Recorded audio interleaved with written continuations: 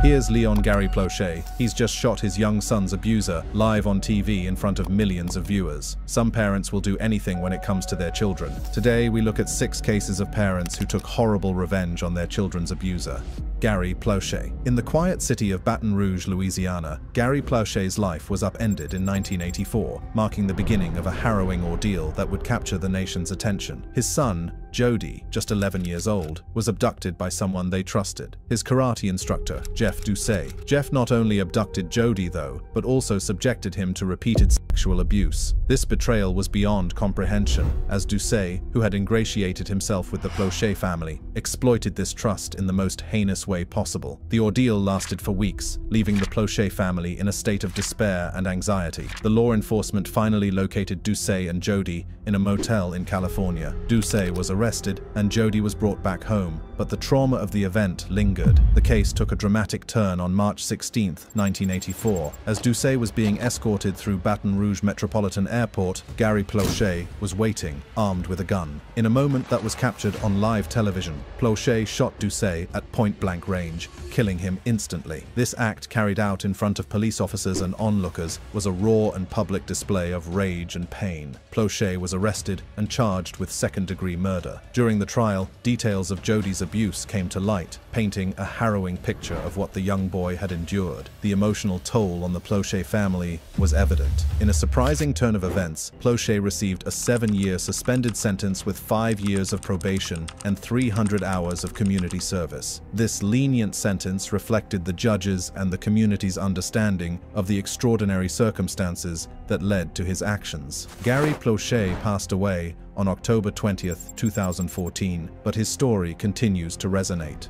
Jesus Mora Flores. In the quiet expanse of Lavaca County, Texas, a story unfolded that gripped the nation with its raw intensity and moral complexity. On a seemingly ordinary day, a 23-year-old father's world was shattered when he heard his five-year-old daughter's screams emanating from a remote shed on their family ranch. Rushing to the scene, he was confronted with a horrifying sight. Jesus Mora Flores, a 47-year-old farmhand, was sexually assaulting his young daughter. Driven by a primal urge to protect his child, the father reacted with immediate and brutal force. He beat Flores, a man nearly twice his age, into unconsciousness. Despite the violence of his response, the father's humanity surfaced in the aftermath. Realizing the severity of Flores's injuries, he called 911 in a frantic plea for help. His voice, laden with panic and confusion, conveyed the turmoil of the moment. He told the operator, This guy is going to die on me. I don't know what to do. A statement that reflected both his fear and his unexpected concern for the man he had just beaten. The case quickly caught the attention of local law enforcement. Ultimately, the death of In June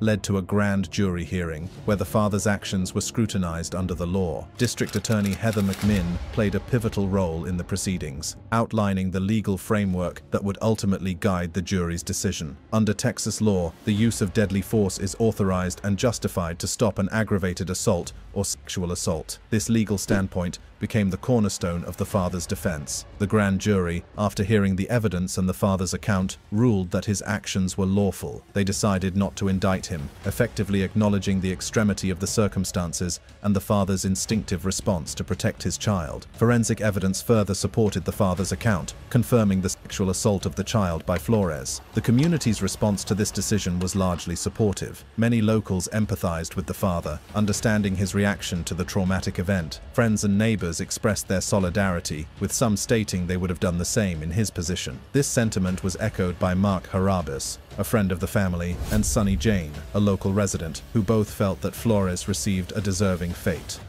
Paramjit Singh. In the quiet village of Jumba, Punjab, a father's profound anguish over his infant daughter's alleged rape led to a harrowing act of revenge. After his infant daughter's molester, a teenager by the name of Parminder Singh was presented in court, Paramjit Singh initially offered Parminder a ride to the Bathinda courts, supposedly to formalize a compromise. However, this offer was a deceitful ploy. During the journey, Paramjit spiked Parminder's drink, incapacitating him. He then transported the unconscious teenager to a secluded area in Jumba. In this isolated spot, Paramjit's plan reached its grim conclusion. He tied Parminder to a tree and, with a sharp-edged weapon, executed his brutal form of justice by severing the young man's hands. Following the incident, Paramjit Singh was apprehended near the crime scene. During his preliminary interrogation, he revealed the premeditated nature of his actions, including carrying the rope and weapon used in the attack. The police, led by Superintendent Bikramjit Singh, charged Paramjit with an attempt to murder under Section 307 of the Indian Penal Code, IPC. Parminder Singh, grievously injured, was rushed to the Guru Gobind Singh Medical College and Hospital in Faridkot. Despite the severity of his injuries, his condition was reported as stable. However, he was left to live without his hands for the rest of his life. Katie Collman. Katie Collman, a 10-year-old girl from Crothersville, Indiana, lived a normal, happy life with her family until January 25, 2005, when a routine trip to a nearby store turned into a nightmare. Her mother, Angela, sent her to pick up some items, expecting her to return in about half an hour. When Katie didn't come back, her parents, including her father, John Neese, began to worry. Despite their efforts and those of many volunteers, the police soon believed Katie had been abducted. Two days after her disappearance, a witness reported seeing Katie in a white pickup truck with a skinny white man. Tragically, on January 30th, Katie's body was found in Lake Sippers. Initially, Charles Hickman confessed to accidentally causing Katie's death when she stumbled upon him and an accomplice cooking meth. However, a medical examination revealed that Katie had been raped, and the DNA evidence did not match Hickman or his accomplice. Three months later, detectives found a crucial piece of evidence, a cigarette butt near the lake that matched the DNA found on Katie. This led them to Anthony Stockelman, who sold the same brand of cigarettes. Stockelman's DNA matched the evidence, and he was arrested for Katie's murder and rape. Stockelman struck a deal with prosecutors, pleading guilty to avoid the death penalty, and was sentenced to life in prison without parole. His appeal, claiming extreme mental or emotional disturbance, was rejected. In a twist of fate, Stockelman ended up in the same prison as Katie's cousin, Jared Harris. In 2006, Harris forcibly tattooed, with a sharpener, Katie's revenge on Stockelman's forehead, earning himself an additional seven years in prison. Stockelman was then placed in solitary confinement, where he remains to this day.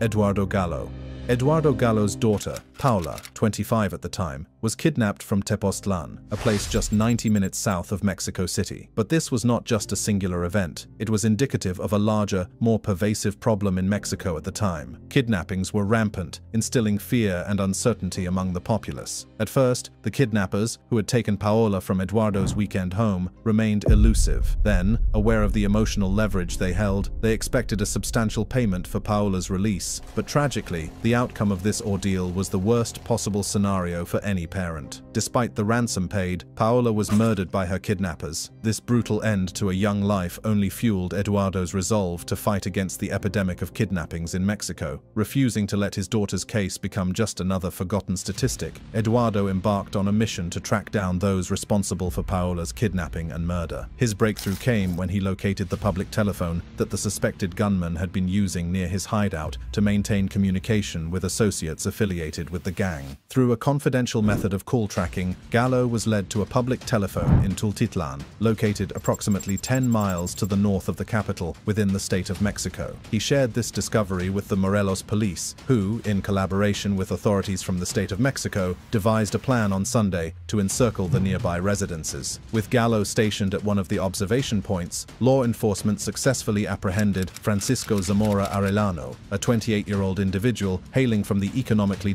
disadvantaged state of Guerrero, who had been residing in the town. Montiel reported that Zamora confessed to the shooting of Paola Gallo.